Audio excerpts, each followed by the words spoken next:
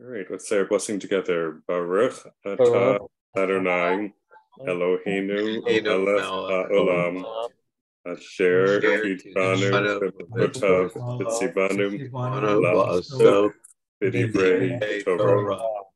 Praise to you, Lord our God, ruler of the universe, who's made us holy with your commandments and commanded us to busy ourselves with the words of Torah.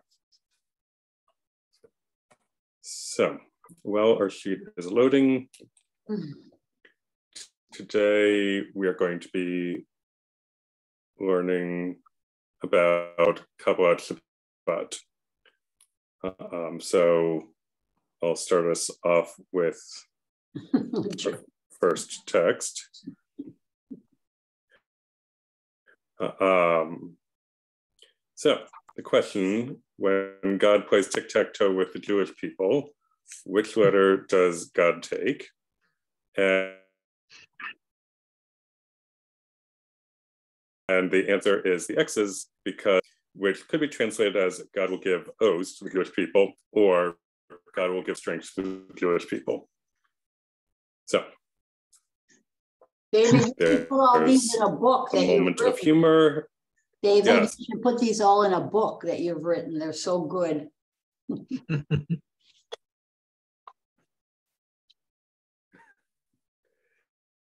Thank you. Okay. Um, Charles, would you read our Kabbalat Shabbat on one foot, please? You're asking me to read it? Yes. Ah, okay. Kabbalat Shabbat on one foot. Kabbalat Shabbat is a section of the Friday evening service. It's the very beginning prior to the evening service, Arvit or Ma'ariv. Officially beginning with Barchu, it was developed by the Kabbalists in the city of Safat in the land of Israel in the 1500s as a way of receiving Shabbat, which is what Kabbalat Shabbat literally means. Hmm. I can't. I, I All right. Yeah. And yeah. Thank you. Okay, so we're talking about the first part of the Friday evening service. All right. Um, let's see. Morris, would you read our text and explanation, please?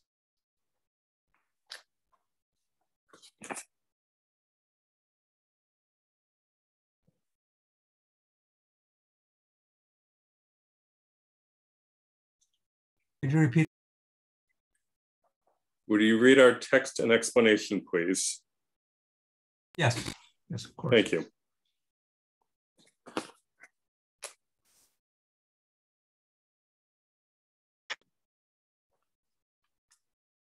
I'm mute.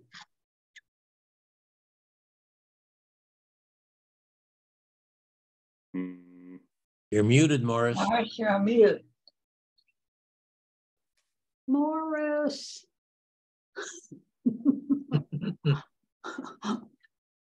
Morris. Okay, can you hear me now? Yes. Yes. Okay. I'm sorry about that. All right. Rabbi Hanina would wrap himself in his garment and stand at nightfall on Shabbat Eve and say, Come and we will go out to greet Shabbat the queen. Rabbi Yannai put on his garment on Shabbat Eve and said, Enter, O bride, enter, O bride. Between 1492 and 1529, Jews were kicked out of Spain, Portugal, Nuremberg, Bavaria, the Papal States, Milan, and Naples. Then in 1520, Suleiman the Magnificent of the Ottoman Empire conquered uh, the Egypt and the land of Israel from the Mar- Mar- Mamelukes. They, this led to a population explosion in Safat, Safed, as Jews from all over came to this city in the Galilee near Rabbi Shimon Bar Yochai's grave in Meron. Among those who gathered there was a Kabbalist, Rabbi Isaac Luria, known as the Ari. Around him gathered other Kabbalists, such as Rabbis Joseph Karo, author of the Shulchan Aruch, Eliezer, Elazar Azikir Azikri, author of Yedid Nefesh, Moshe Cordovero, the leading Kabbalist before Luria, and his brother-in-law, Shlomo Al-Kabetz. They would all go out into the fields at dusk on Friday singing psalms and songs to welcome Shabbat. This custom spread to other communities, but they did it inside the synagogue just before Mariv, Arvit. Inspired by the text in a Babylonian Talmud, Shabbat uh, 119a colon 2, Al Kabetz wrote Lecha Dodi as a centerpiece of, for this new service. Kabbalat Shabbat, receiving the Shabbat, the Shabbat, he wrote it as an acrostic using his name for the first eight stanzas, Shlomo Halevi, Kabbalat Shabbat became the last universally accepted addition to Jewish liturgy. Hmm. All right, thank you. So, questions about the background of Kabbalat Shabbat before we dive into the text itself? Is that the whole service? or just a portion? Ah, so Kabbalat Shabbat can be used to refer to the entire Friday evening service. Technically, it refers to the part before Mar- before Barchu. So the what? Before Barchu. So there's the regular evening service that's the same basically on Shabbat evening and holiday evenings and weekday evenings um, with a few additions for Shabbat. And then there's this extra section added beforehand mm-hmm. on Friday nights for Shabbat, um, which is mostly a set of Psalms and Yedid Nefesh at the beginning and Lecha Dodi in the middle, mm. and the Mourner's Kaddish at the end. So it's a it's the first half of the Friday night service, but some people use the term to refer to the entire Friday night service. What did they do that, before this? Before this, they just did Mariv.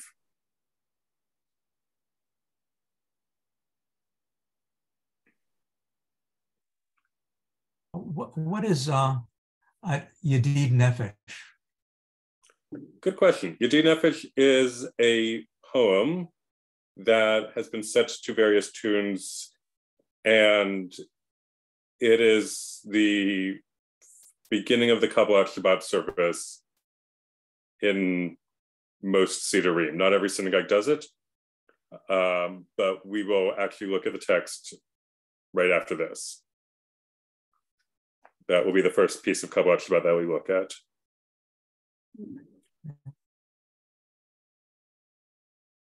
Thank you. Yeah. I got a question in the chat about whether you did whether um, the Friday evening service or Mariv is complete if you don't say the Kabbalat Shabbat section. Um, and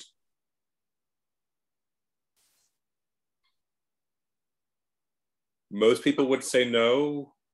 It's not, to my knowledge, it's not technically required, it's customary, which is why, and you don't need a minyan for it, um, which is why there are some communities like Shir Chadash or Shir Chadasha um, in Jerusalem, where a woman can lead Kabbalat Shabbat, but a man has to lead Mariv.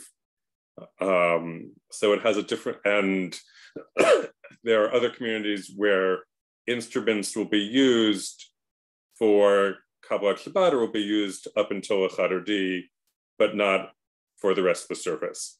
So Kabbalat Shabbat has a different status than the rest of the service. Um, two other notes about that. One is that when we have what's called a three-day yontif, where you have two days of a holiday, and then right after that we go into uh, into Shabbat.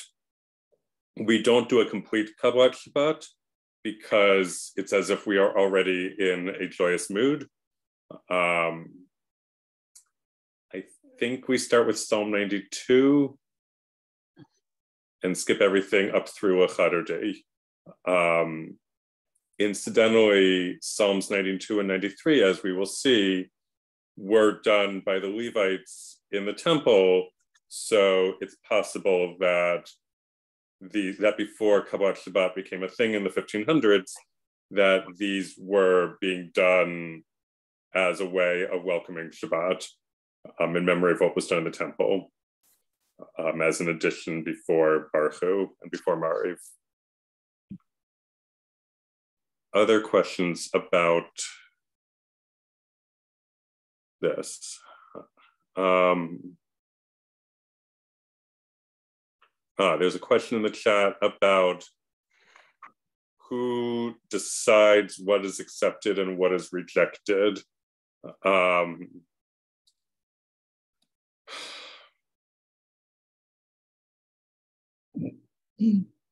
so there's a concept called the Mara de Atra, which is basically the the person who is in charge of the community that is authorized to make halachic decisions for the community.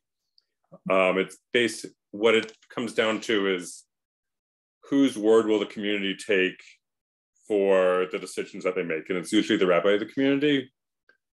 But different communities have different ways of making decisions. For instance, there are independent minyanim that don't have a rabbi, but they still have to, or they have many rabbis, but no, nobody's acting as like the rabbi. So they have to come up with decisions about what they're going to do, what they're not going to do. And that is true of Jews, whether they're Ashkenazi, Sephardi, Mizrahi, whatever. Um, so Kabbalat Shabbat, news of it spread across the Jewish world. And it was something where nobody seemed nobody to my knowledge i wasn't there at the time hmm. seemed to be able to find a reason not to do it. It seemed to enhance the goals of making shabbat pleasurable of welcoming it. It seemed to fit with what was going on. There was talmudic precedent for it based off of the text that we saw. And so and so communities individually and possibly influenced by other communities making this choice decided to accept it. Since that time, there have been nothing else has been universally accepted as far as liturgy goes. Um, some of this has to do with modernity and a fracturing of authority. Um, there's never been a pope of the Jewish people, a central authority, but um, you have that here. in the United States, there's no chief rabbi. So there's no central authority in the United States, unlike how there are in some other countries. Hit this. Yeah. All right. Other questions? Yeah, um, David, since most synagogues have a mincha serve, have the afternoon service and run right into the evening service, mm-hmm. why uh, this uh, Shabbat, Shabbat service, Kabbalat Shabbat service needed? Kabbalat Shabbat is needed because Mincha is the afternoon service, and on a Friday it's a weekday afternoon service. And it's lovely, but doesn't have the unique role of getting you ready for Shabbat, of setting the mood. So having this extra piece added to the Friday Mariv, the Shabbat Mariv service, um, sets the mood.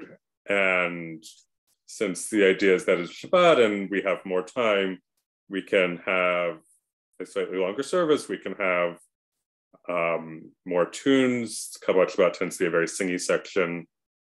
So Kabbalat Shabbat functionally works differently than Mincha does even if a congregation will do mincha and then go straight into Kabbalat Shabbat and Mariv.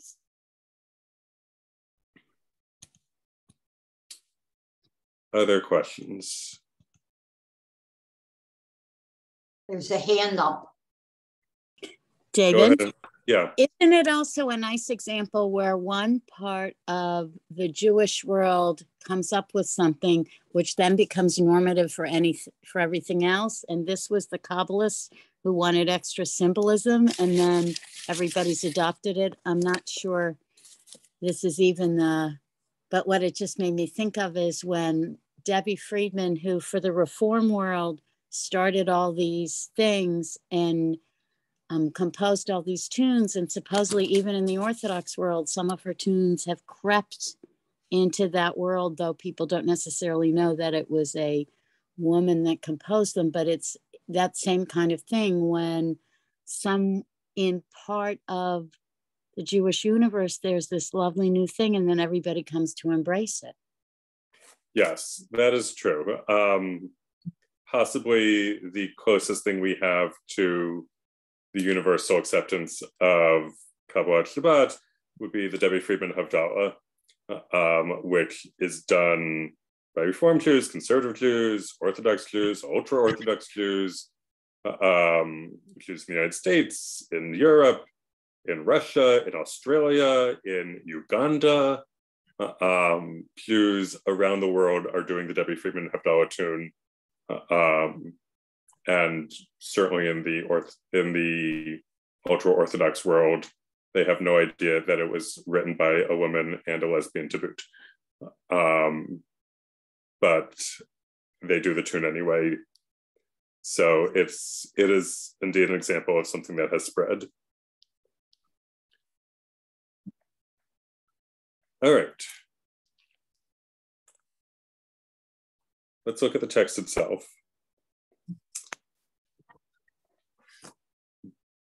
Barry B, would you read Yadid Nefesh, please? Um, sure. Let's Thank you. unmute. Hold on.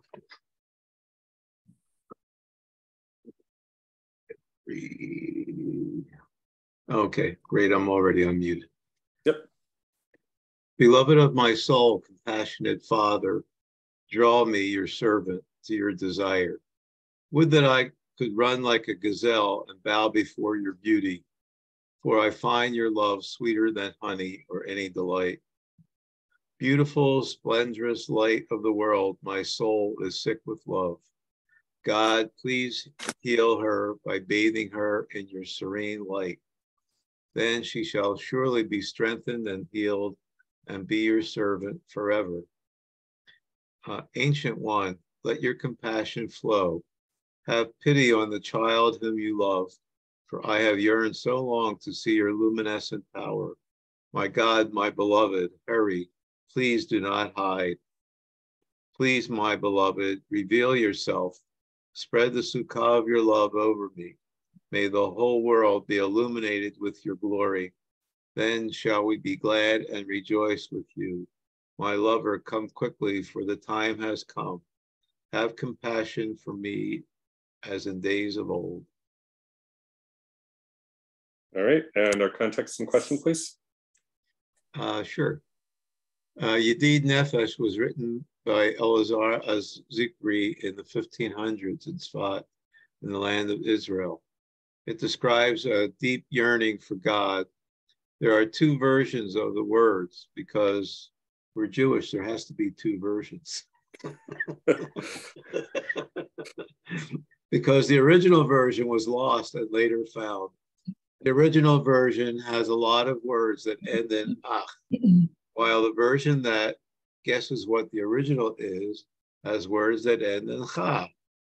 In this poem, the Piyutan, religious poet, has a deep yearning for God, similar to that of a person who is in love. When have you had a deep yearning for something? How would developing that yearning for God affect your relationship with God? All right, thank you. Sure. I, so I have a question about uh, further up in the uh, part that I read. If you can Mhm. scroll back up. So um, uh, little higher. Um, somewhere along the line, this switches gender. Uh, uh, yeah, so right here. Beautiful, splendorous light of the world, my soul is sick with love. God, please heal her by bathing her in your serene light. So it, uh, that kind of stood out for me. I'm not quite sure exactly what the poet is referring to unless this is part of the, the Kabbalistic view of Shabbat, of the Shabbat queen, perhaps, but Hmm. uh, not clear. I, I don't know if you have any other commentary. Sure. I'll throw that to the group though. Yeah. When you when you guys see the word her, what do you take it as referring to? I'm thinking that the soul is sick with love. Oh, my soul. Can you can you heal her? I'm thinking about his soul. That That's what's sick. David, I often think it's modern sensibility in translating rather than the original. But if it is in the original, wouldn't it be a Shekhinah reference of the feminine aspect of God? Related to the Mishkan, where we've just been we've just been doing all sorts of stuff about the Mishkan. Um so let's see. Oh no, that's the wrong verse I'm looking at. No wonder. Um, so looking at the Hebrew and at the English, Nafshi cholat ahavatach ana elna la, which happens to be a quote from the Torah, um, where the text is originally in feminine. It does appear that the Hebrew and the English would be referring to the soul, nafshi cholat. Uh, so my soul is sick with love. God, please heal her.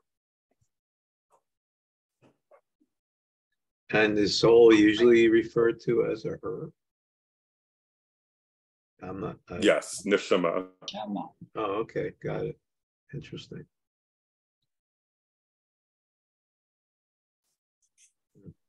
Well, thanks. That clears up some of the uh, mystery around that. But... Yeah. That's what we're here for, to look at the English yeah. in ways that we don't usually when we're just singing the Hebrew. Mm-hmm.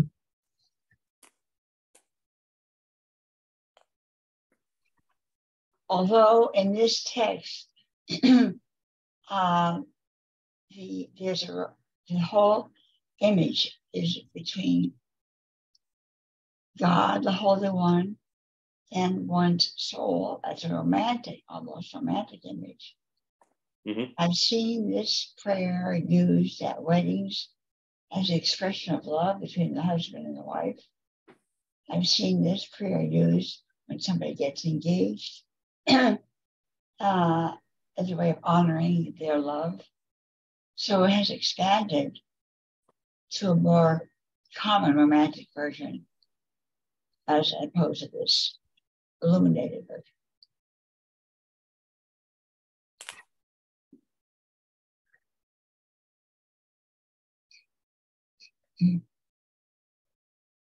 Yep.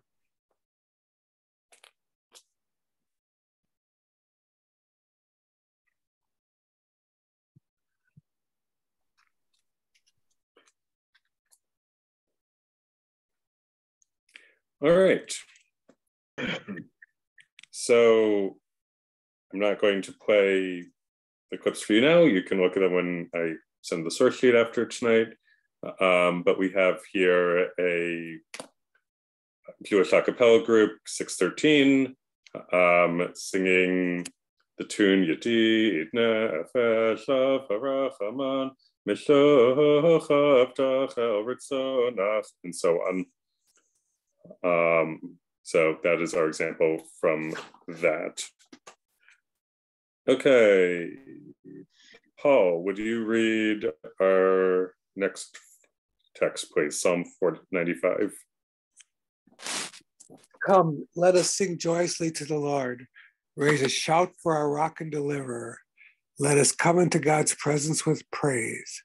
Let us raise a shout for God in song, for the Lord is a great God, the great sovereign of all divine beings.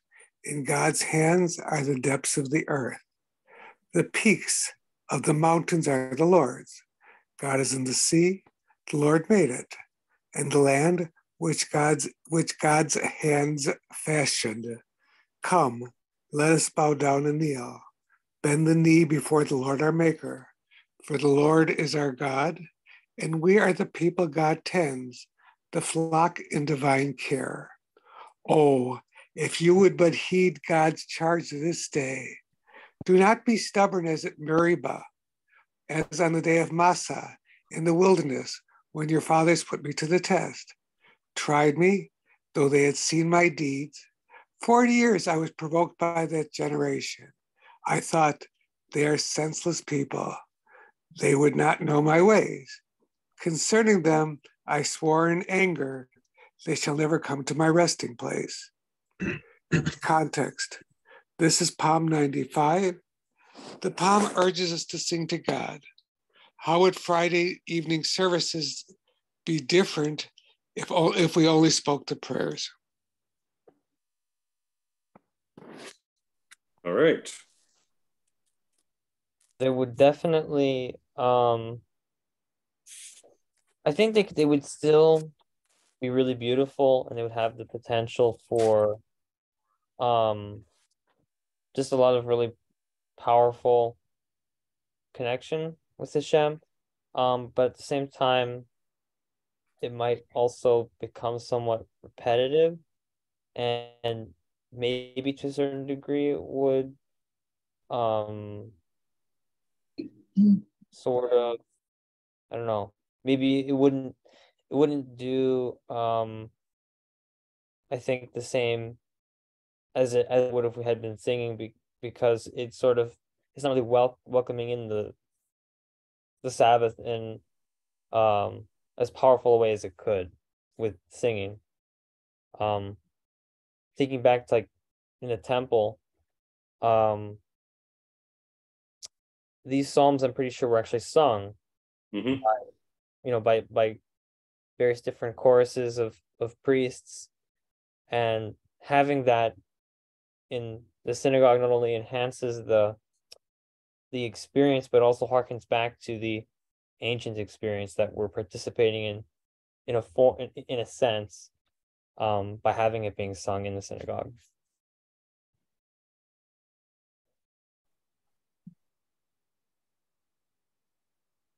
Other thoughts? I just think the difference in the Friday night service since we've added the uh, joyousness. You know, you asked before what gives you joy. I think I get so much joy on Friday night when we have a musical Shabbat. And it's just a sense of everyone being there together as a very spontaneous, happy Shabbat service. Hmm. It's also a chance for those of us who don't really read Hebrew that well or speak Hebrew to participate in Hebrew. Uh-huh. I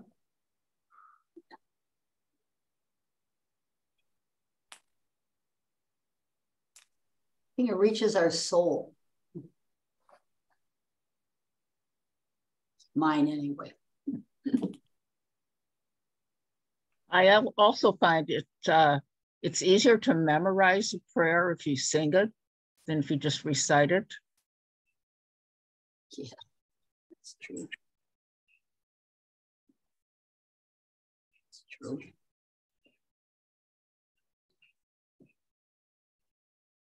I think there's a tactile sensation that uh, is um, part and parcel of singing. Singing creates a vibration of the vocal cords, and done correctly, it can basically vibrate the entire body.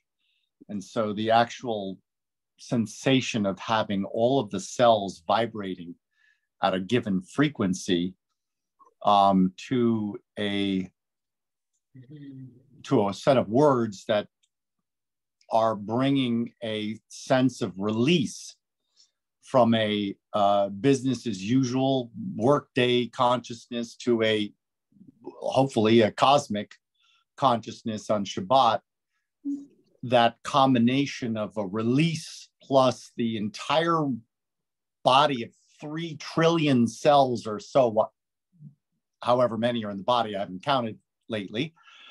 Um, that is only available with singing. That quote unquote, all of the organs, all of the cells, every part of my physical reality vibrating at the same frequency through a tune per se. Uh, that can only be experienced through song.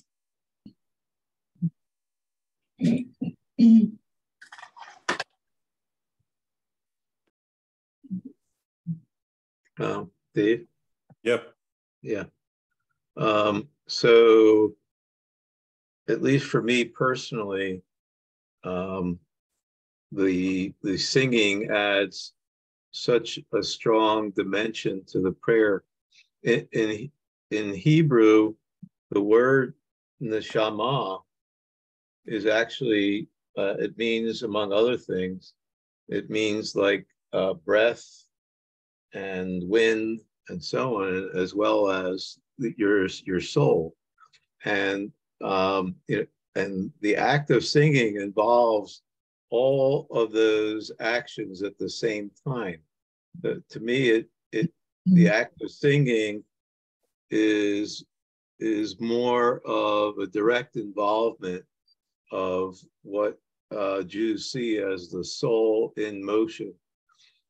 Um, and in, in, the Torah, just uh, recently, we read about one of the most joyous occasions of the Torah when we crossed the Red Sea. And the first thing that Miriam did with the Jewish people was broke out that uh, she and and uh, the Jews broke out in song. It was extreme ecstasy and joy, and um, yeah, I think we have a long tradition of music bringing us closer, more in touch with our soul, and in turn with God.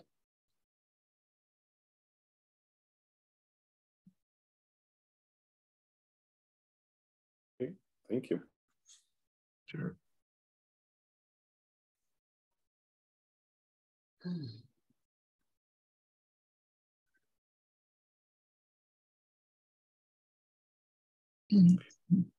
All right. David? So, yeah, go ahead. Well, when when someone is is reading the Torah, like like yourself or or Charles, for example, and you're reading the cantillation, so I mean, if it was meant to not be sung, the cantillation wouldn't be there, right? Mm-hmm. The so, so yeah, I think that, go ahead. No, so I, so I think that's that says something. You know, I mean that that it was always meant to be sung. Mm-hmm. Yes, certainly as long as far back as the cantillation, the tradition of the cantillation goes. Um, it was written down in the 800s, but uh, there's an oral tradition of it far earlier than that. Um, the cantillation functions as punctuation. So, in the same way that the Nusach has musical phrases that help to just determine where the, the sense of the meaning is. Um, to use a particularly graphic example, it's like the, the difference in the sentence let's eat, let's eat grandma, whether you put a comma in before grandma or not. so the um, the phrasing is important and makes a difference. And the cantillation for the Torah and the Nusach musical phrases determine the sense of, of the, the syntax of the text. That's very true.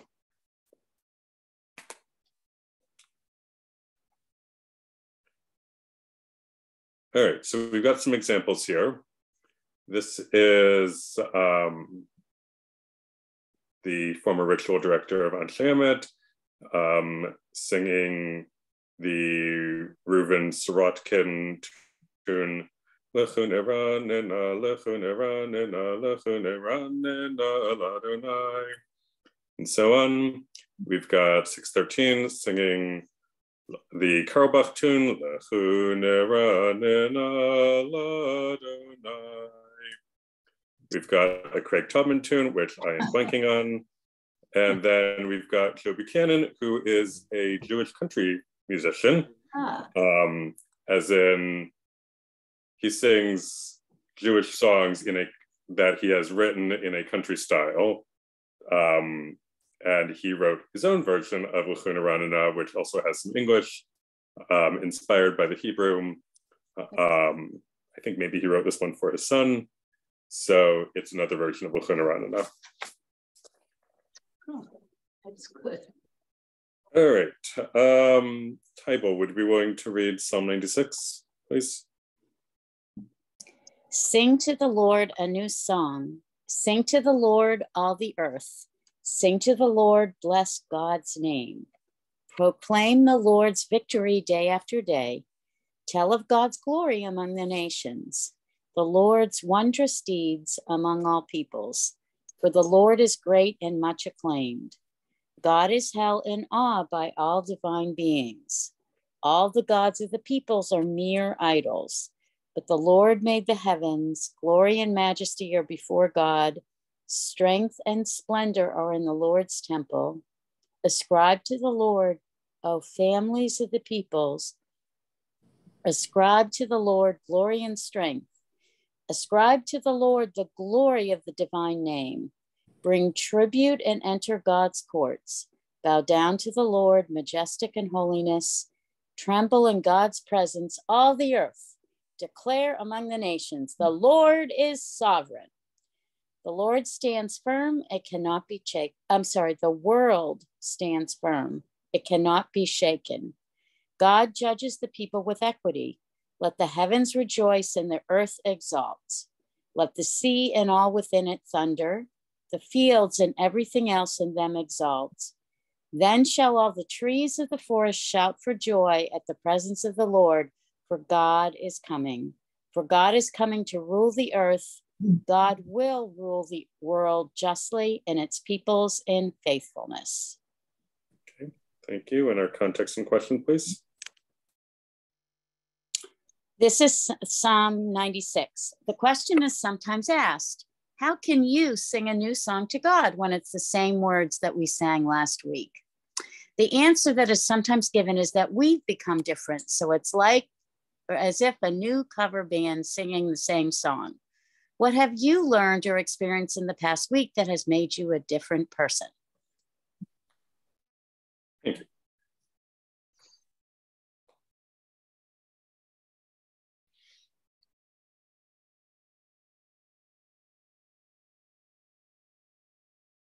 you. And I forgot to turn on my appropriate background. So now I just did. Uh, excellent. Thank you.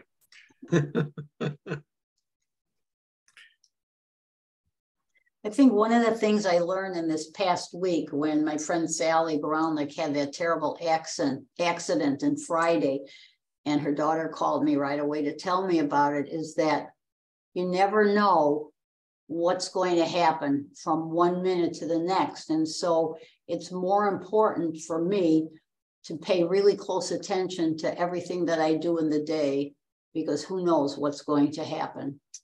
And I think it was a eye-opening experience. Mm.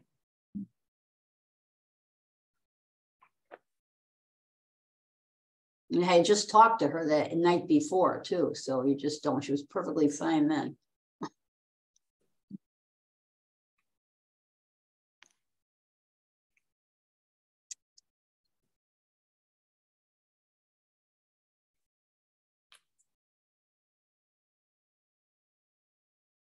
So I'll be a lot nicer to everybody, people. Thank you. what have other people learned or experienced in the last, in the last week that's changed them? Hmm.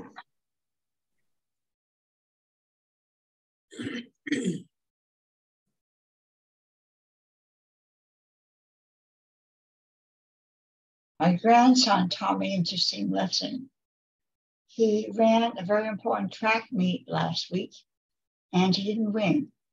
And I was wondering how he was going to feel. So I said to him, Ben, you, you ran a strong race. And he said, You know, it doesn't matter that I didn't win. I loved running it. Oh. Mm. And I'm thinking to myself, that's really important to love whatever you're doing at that moment. Right. Worry about the end result. I'm thinking too that unless something happened during the week that affected you strongly in one way or another, week to week to week, I don't think the singing this, I mean, the song doesn't, doesn't have a different meaning for you. Um, you know, it, it's, it's what, if you have something to apply it to, that does. My estimation. You can also say that with my beautiful voice, I never sing it twice the same time anyway. Oh, boy, got that right. When I was in grammar school, the music teacher told me at the graduation from eighth grade, don't you dare sing, just mouth the words. So my whole life, you know, I didn't sing until we started with the musical Shabbat. And then I thought, too bad, I'm going to sing. I don't care if anybody likes it or not. and nobody has said anything, so I guess it's okay.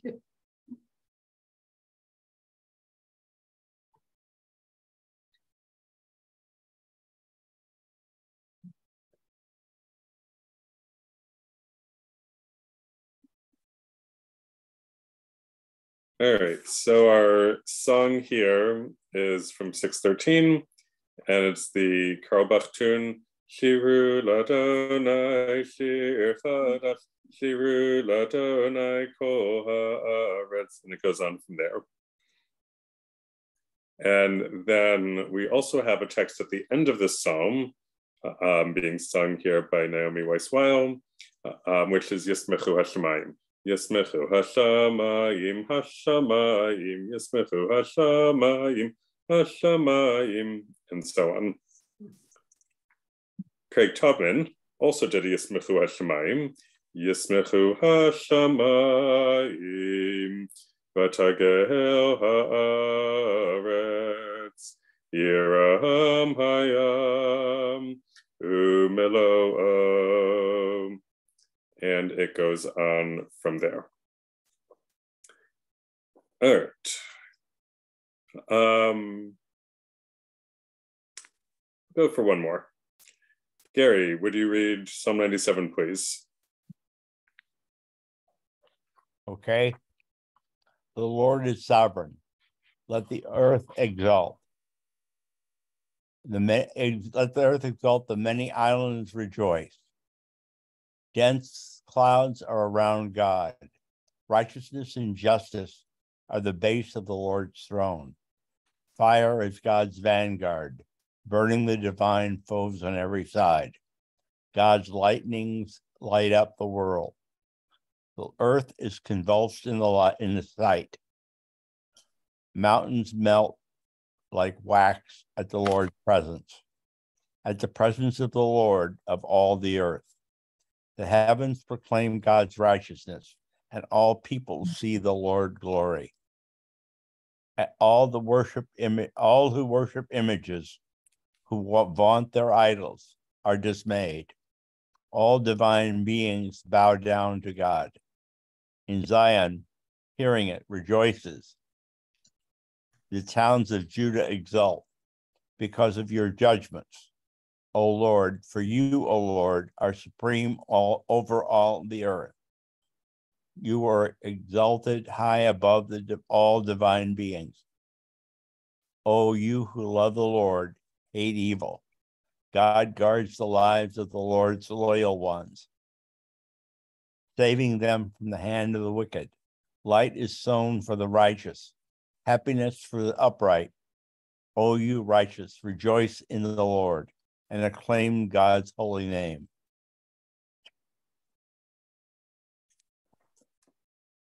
Okay.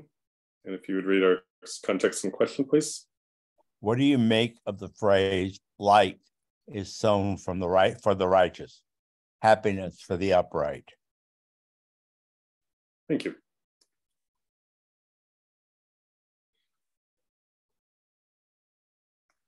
David, I don't want to answer this question, but I'd like to ask a question. Sure. Um, in this psalm and in one, in something that we read at the beginning of the class, it talks about um, other divine beings mm-hmm. that they bow down to God or whatever but you know these other divine beings are um paying homage uh, for want of a better term to the lord yeah. And is this saying that there are other gods or that other that some people believe in gods that we don't believe in or what is I, i'm just trying to understand this Yes. So it depends who you ask. Um, what exactly this tells us about the ancient Israelites and their beliefs.